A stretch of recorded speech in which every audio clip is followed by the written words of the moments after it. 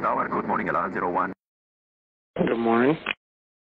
Uh, one heavy, how can I help you? Just checked in with your call sign. Establish localizer for uh, right, Alarm 01. Next time say that. Allow one heavy, Kennedy Tower. Kennedy Tower, quality 813 heavy. Yes, how can I help you?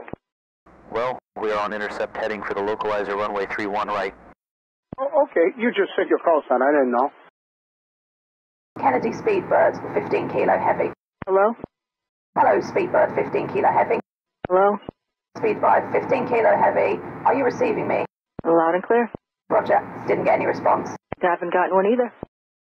Kennedy Tower, good morning. Delta 960 Heavy, we're just outside Rosalie on the ILS 22 left. 960 Heavy, Kennedy Tower. Good morning. 126 yard 7, runway 22 left, clear to land.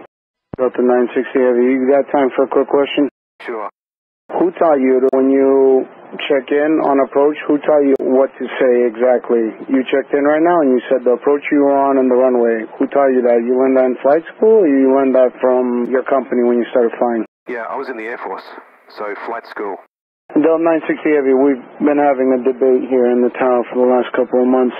Supposedly it's not a requirement by ICAO rules. All you have to do is check in with your call sign.